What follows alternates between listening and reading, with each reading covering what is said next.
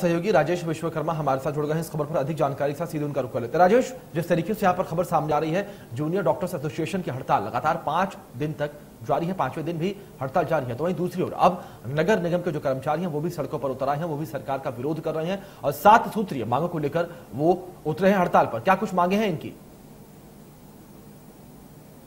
जी राजेश।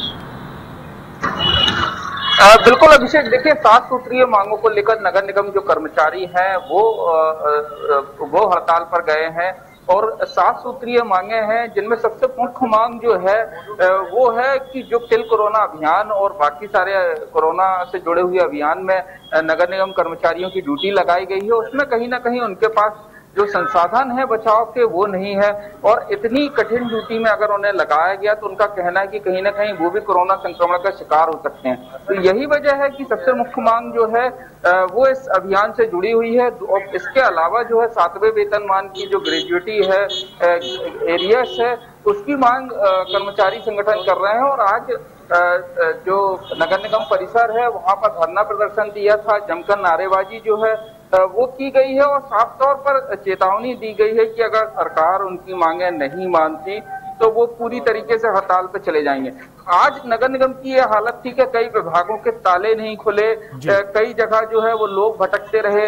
अगर बात की जाए जन्म मृत्यु प्रमाण पत्र शाखा है जहाँ पर दिन भर इस समय भीड़ लगी रहती है प्रमाण पत्र के लिए तो ये ऐसे सारे विभाग थे नगर निगम से जुड़े हुए जो पूरी तरीके से बंद थे। कर्मचारी पूरे लामबंद हो गए हैं और हड़ताल पर चले गए हैं और अभी तक जो नगर निगम कमिश्नर है और जो अधिकारी हैं उनकी तरफ़ से किसी प्रकार के प्रयास कर्मचारियों को मनाने के नहीं किए गए।